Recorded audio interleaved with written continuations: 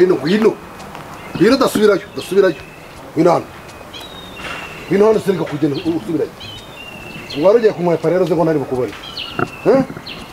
wari ugiye kwepa muracyafite ubugome nk'ubwa kera se shaka nakwize ngo ubu nagufata nkaguhanyira hano none ubu- se wankwepera none wankwepera ubu ngubu ni ukuri mbabarira mwubare se mwubare ibiki yari impanuka umwari muzi ko mwanyishe nyine mwantabye ngo zandiye sibyo? Iyo nagira umugiraneza se ngo mbone kuntu nkuru burya na- naje gukururuka burya ijya shyamba mwantayemo. Urumva? Ndivamo urumva? Ndagenda ngira imana abantu barandokora. Ni ukuri ni- yari impanuka yabaye. Impanuka yabaye n'ubugome mwari mufite mukagera mujya kunkura mujya kumpamba. Mwari muzi ko mwari muzi ko nagiye he? Kwa satani cyangwa mu ijuru? Huh? mwari muzi ko nagiye shaka nturi kumva ntabwo twamenye uko byagenze. Ntabwo mwanya ko byagenze. Mujyane mwitsimitse nta mwankwepera nta naho muzajya. Kandi nanjye nakume do do ni ngewe ni ngewe rutambi umeze sha neza. ni ngewe rutambi Eh, nta soni burya uzi ukuntu byaje kugenda? Burya mwandi mwantobye burya naje gukururuka ndakururuka nagize gutya numva ka- ako kenge karagarutse. Mm, nzamama gutya ni ibitaka. Mwari mwa mu- mu- mu- mu- nani soni mujya gwamba mbona mukamamba muri santimetero makumyabiri. mwari mwa- mwampambye se nk- nk'ipusi rega twari ni ipusi mwari muhambye ubwoba. goba Nta- cyakora muri abagome cyakora kabisa.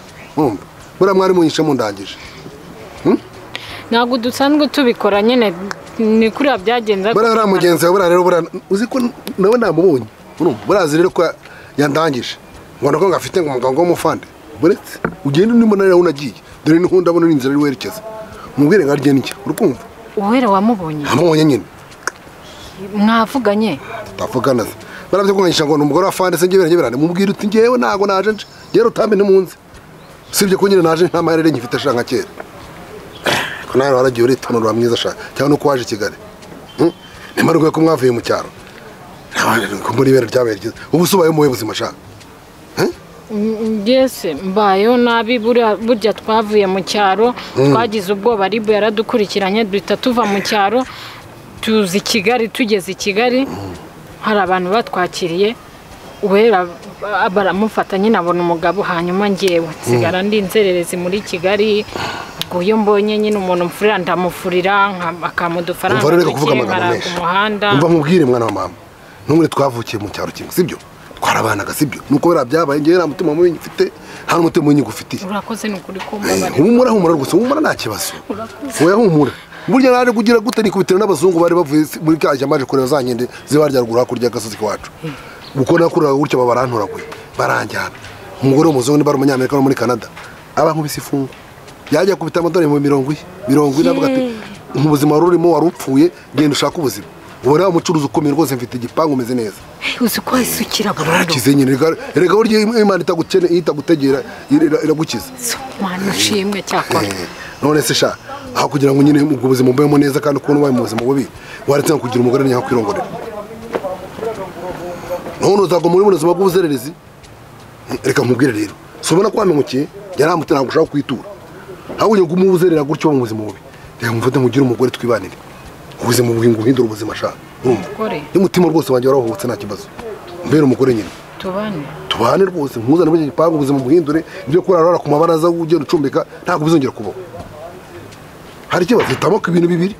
Kuguma uzerera cyangwa kugira umugore tukabana nyine nta kundi nyine nase nakomeza nkazerera muri kigali aho ndaye hose ndarana n'imbwa. Nibyo sha. Wowe mpobera rwose. None nyine akagore karimanika nkaho ya ya ya ya o o o o o o mureba se sha noneho rero mba nkubwire. Hari aho ugiye? Harike urumva? Nanjye ni ho mvuye nkuri ni ukugira ngo ushyire imitima mibi n'ibiki n'ibiki ahubwo reka nkwereke. Tujye tugenda nkwereka ahantu mba sibyo hanyuma. Ubuzima bukomeze. Umure n'ibyo ni byo wambaye by'igihugu utaraza kubikuraho tugende mu ntacyo mutwara rwose. Tugende tugende iwanjye buriya yari azi ko bandaki umuntu ntacyo wigira ubwoba wireba nta muntu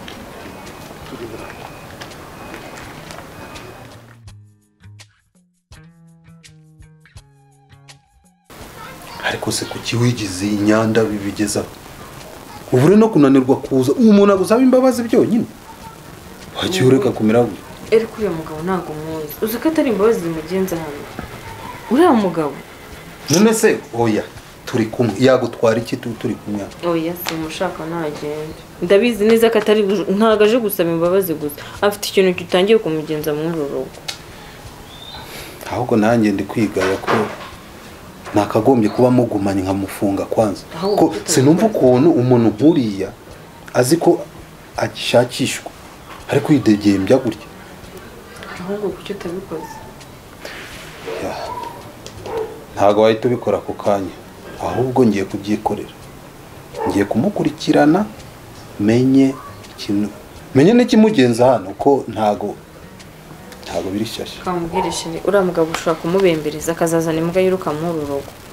Rutambi ntabwo umuzi ngewe ngiye kubikurikirana kandi nta wundi mupolisi wo ku ruhande nzashaka.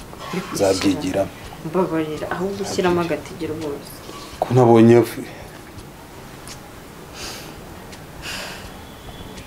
ese wa wundi we ari bumenye cyangwa agiye kumureba? Chantal se? Mm.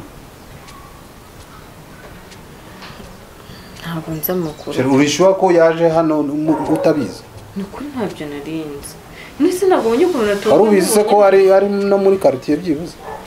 Ntabyo narinzi ngewe inkuru yose na yo gutekereje ukuntu yagenze. Nta makuru na make nari mfite kuri uriya mugabo. Ahubwo njye mbanje no kugira ngo ni umuzimu.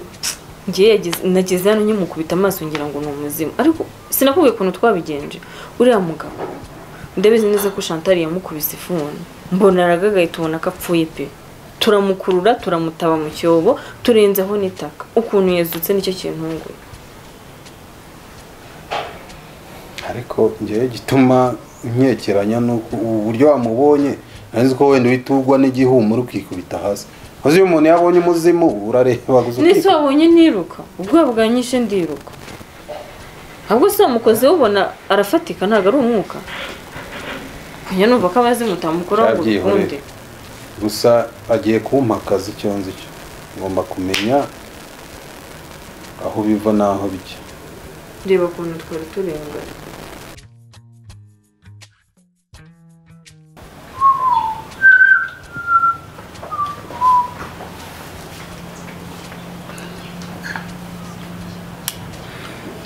Chantal? Chantal? Ngwino hano mbwira ariko se wowe watangiye kunyita bosi kandi ni sheri.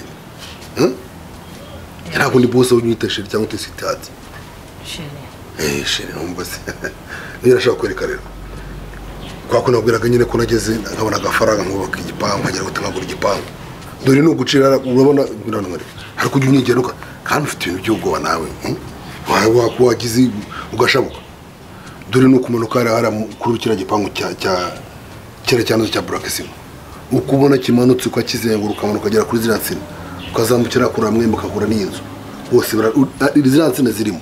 Niwe wemere kuzisoroma havamo igiti cy'inyamunyu havamo icy'imineke byose wemeye kubikora si dore harimo n'amavoka. Dore ngiyi sombe urumva ubu ugiye kwisha rwose. Nkumva shaka sheri yewe ubona n'akamisi dore biriya byose byarangiye n'ibya kera ntu- ntugire ikibazo sibyo hanyuma harya ubu nta yindi myenda wagiraga oya nta yindi ni iyi nambaraga gusa reka nzimamagare mama cyangwe akwa- akwambike. Eh. alo? Ni sayidati Eh, barambwiye ngo usigaye ngo ufite imyenda dukura muri za turukiya ngo na ngo na za ntuza ngo na ngo mu butaliyani ni byo se? Umva nkubwire. Sigaye ifite icyuho cya tansiyo ntumbone gutya ngewe ngewe rutambi aha ni minsi rwanda rwose. Ndashaka unshakira utwenda twiza tudukomporenti dukomporenti eh? Na twa dukweto twiza bambara nyine abakobwa bakaberwa bakajya mu ni umugore wanjye w'umuntu ntabwo ari indaya. Mvuga amagambo yawe.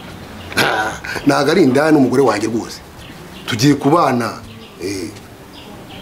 hanyuma ni- nimugoroba ipakingi ubizane hitiremo sawa sawa. Ntumbeshye ariko ahubwo ugera mu kanya kuko amafaranga ndayafite. Sawa. Wabyumvise? Eh, ndashaka kwambika neza shaka sibyo? Ni ibintu bijyanye n'imirire ujya ushaka. Nabonye bakora n'imisatsi Ah, imisatsi ko turi imisatsi ufite ukuntu imeze.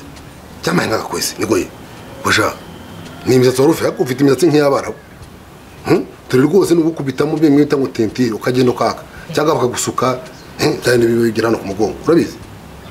Ntabyo uzi? Narabibonye abantu cya bintu byaba by'umuturage wo mu kirambo. Biriya ni iby'imiturage byo gushyiramo za kanta mwari mwaramenye reka reka ndashaka kugira nk'umuzungu. Urukumva hari akantu ntagire uzankorera ntagakize akita masaje mesaje Eh, massage ntabwo ari message massage urayizi iyi nda yanjye ndashaka uzayikanda ikajya ku murongo. Ukayirambura munsi y'ibirenge urumva kwa kundi ndyamye mu ntebe ukajya unkanda umugongo. Mbese ku buryo nk'umura ntabwo bigoye uri umugore wanjye. Eh. uretse ko ufite ubwosha. Urabizi? Ngwino nkwigishe ngwino nkwereke ngwino nkwereke umusatsi tubigenza ngwino nta kibazo. Ngwino nkwereke umuzajya umasa sibyo? Ngwino mbikwereke.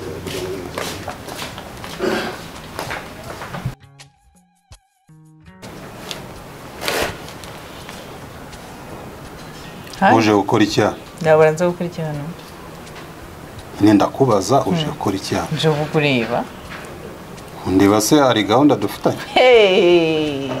Nta gahunda njye nawe twagirana se. Kuri ubu ngubu nta gahunda tu- tugifitanye njye nawe. Nakubwiye ko byarangiye. Urashaka Eh, urashaka? cururuka cururuka tekana. Nje ngo tugire ibyo tu- tunoza tuvugana nta kindi. Kibikisi hari gahunda. Ese ubundi ninde ukweretse hano? Uri kumva njyewe n'ubwenge nzi n'amashuri nize nabura ahantu wowe ko wibeshyeho mbabarira rero usubire ko nta gahunda dufitanye nta n'ikintu ngipanga nawe narabikubwiye. Ubu rero tugiye kugipanga. Pamoja kigikisi mva nkubwire inkuru rero utarajya muri ayo tuve muri ariya n'ariya mva icyari kikinzanye Mhm, nguteze amatwi. Inzu yawe! Cyakora ndabona waragiye ahantu hazima da. Inzu yawe na yo nkeneye icyari kinzanye nshaka kukumenyesha ko hano habamo iki? Mutwitiye. Kugira ngo nkorohereze birasekeje? Nizeye ko usigaye ukina filime ariko. Iyo ndi kugukinira mu maso. Ntwitiye yanyumvishe ngewe ngewe nkusi.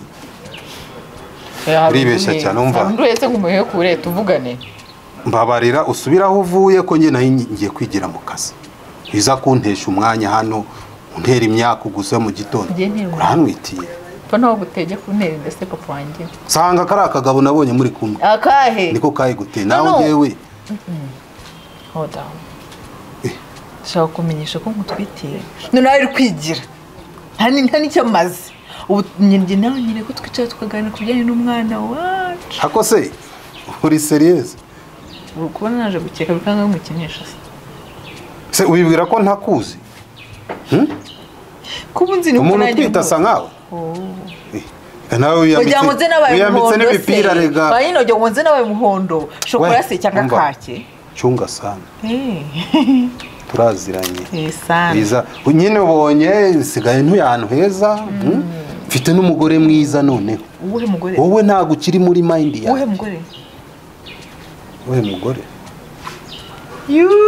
uwuhe mugore mbere y'umugore uhari ni igihe kuko ndatwite n'ibyo wivugisha ngo nta naho nakurega ngo kubera uri umupolisi sibyo sibyo nudashaka ko njye nawe tubiganira ngo ntabwo nakurega ngo uri umupolisi iby'akazi kanjye ubizanye ute wanyumvishije nkura iterabwoba ngo ayo minota iyi mirongo itatu i mean itatu itatu ni myinshi se wagutekereza iki?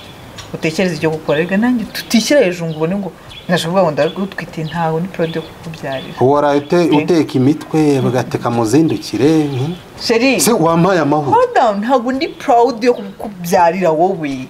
Uri kumva shaka icyo gukora twayikuramo nyine genda ubyarire kari agatipe oya! akagabo kawe werekera ko ugiye gufata abana bawe ukajya kubaresha abandi mbabarira. Udatuma mvuga nabi muri iki gitondo. Listen to me. Ndi kukumenyesha nubwo ndi kugusaba sibyo mean ntabwo ndi kugusaba ndi kukumenyesha twayikuramo twayibyara genda ukora ibyo ushaka. I don't care. Sibyo bitari ibyo. Leta zishobora kutarengera njye ikarengera umwana. Nyine genda iyo ujya urege. Um- umvire mu buzima please. Ugiye kuba papa. Ya baba baba